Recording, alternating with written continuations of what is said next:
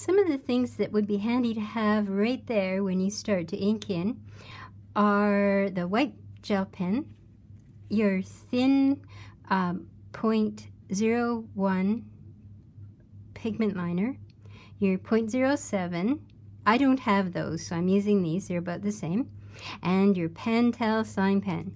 Something that's helpful too is to have a little credit card or some sort of stiff card about this size to make your lines. It's easier to wield than a set square.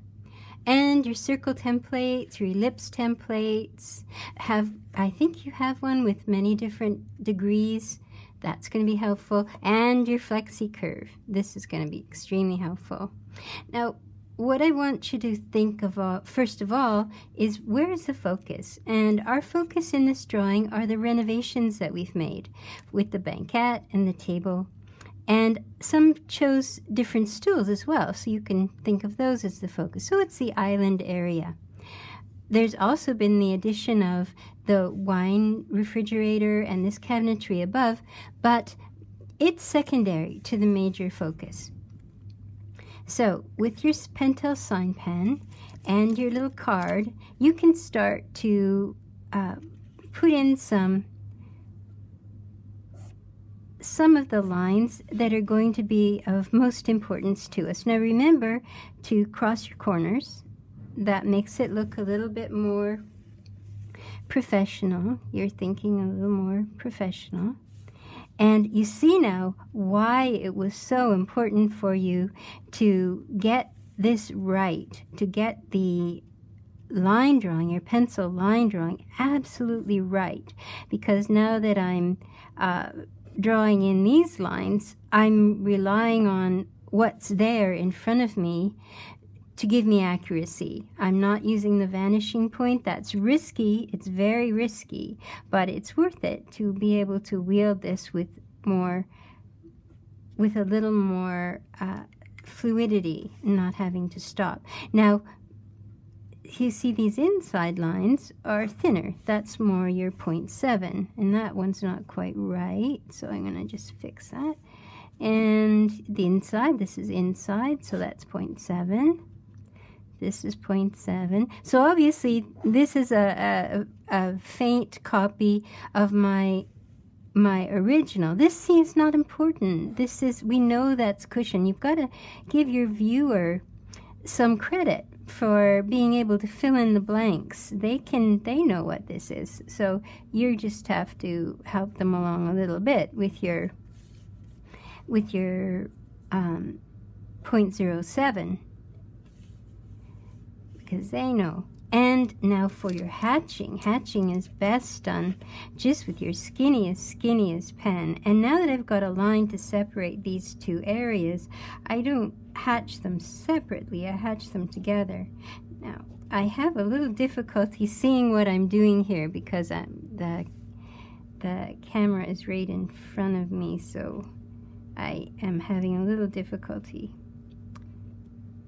getting this right. But this is a little scritchy, so don't be scritchy. Do really deliberate um, and put everything down. That's another thing I'm doing wrong here. I should set all these pens down and do one thing at a time.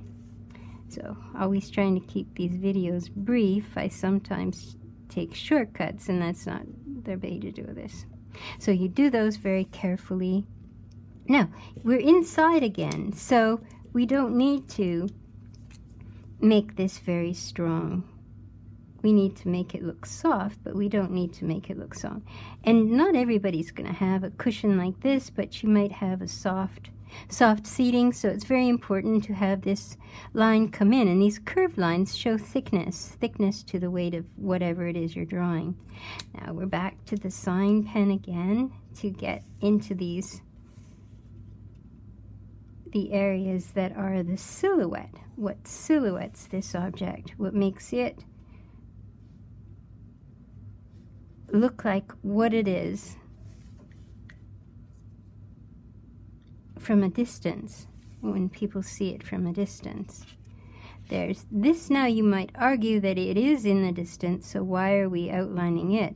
But it helps to complete this thought, the weight of it sitting on the floor So I think that merits, it's the other leg, so that merits a little bit of attention too. And so does the top of it.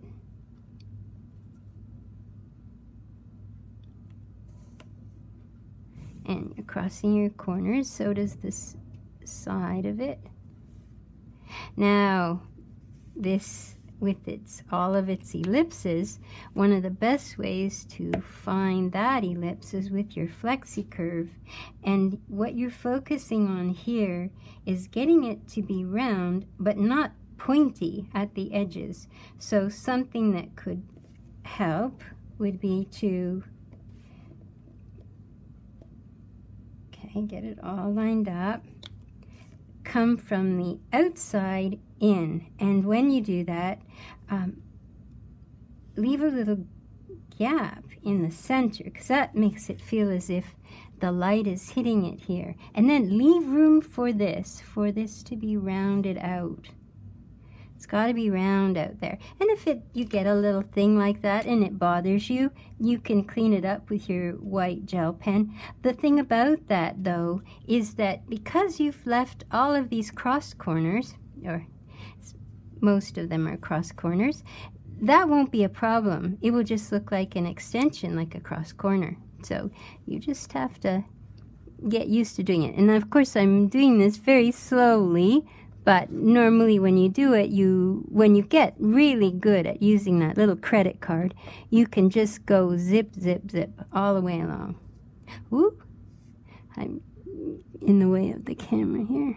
So, okay, so that went up too high, but that's all right. I can just put my teapot. Now, you would argue that this now should not be that important, and it shouldn't establish a little direction for this. And then when you put your hatching in and you put these little items in, they have continuity. They look as if they belong together. So now this is a little tiny line and you would maybe not need the credit card for that, but you could decide what you want to do. I've got to decide what to do about this. So see, I can make a thick line by doing many lines. If I have a mistake like that, I can fix it.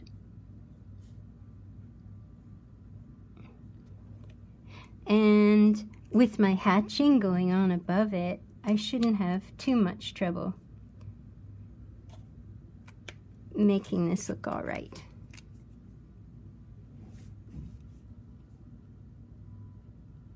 I might switch to this pen, pen for the hatching. The other one is a little bit too different.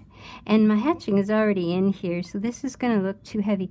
But you, you use a, the thinnest line you can because that will make it look better. But what I'm, that's messy, but what I'm trying to show you is that you have that little you know, little curve, and then you can hatch up to it. And it shows the light hitting that area, and then it drops off. So when you rendered, if we were rendering, if you rendered over top, it would it would look correct. It would look fine. Everything would be consistent. Okay, so that needed more finessing than I was able to do there, but and we'll look at this here. The other way to do this is just try to fit it. I think this is actually a better solution. Try to fit half of it, because that's all I'm drawing is half of it. And then fit the other half around the other way. But what it will give you is a solid, unhesitating line. If it's off a little bit, you'll be forgiven because it's a solid, unhesitating line.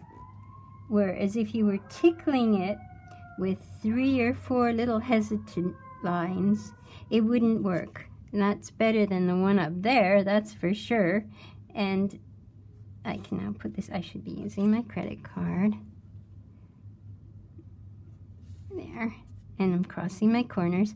That's the nice thing about the cross corners, as I mentioned. They can, um, they make it just that little bit more snazzy, so when you do make a mistake, going a little too far or something like that. It's not so, it's not so important.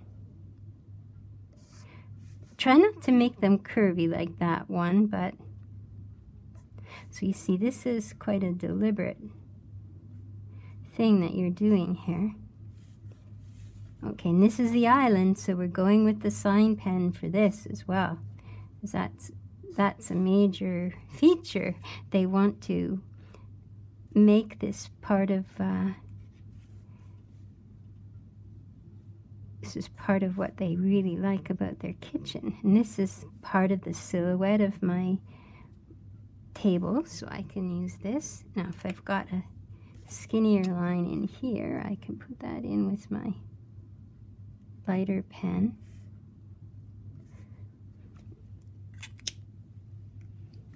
Okay, and these down here, this is where your circle template comes in. You might find something that will be just great under there. Let me see. That looks pretty good. And this is again part of the silhouette, so I could go ahead and use this. And again, I'm coming from the outside and going in.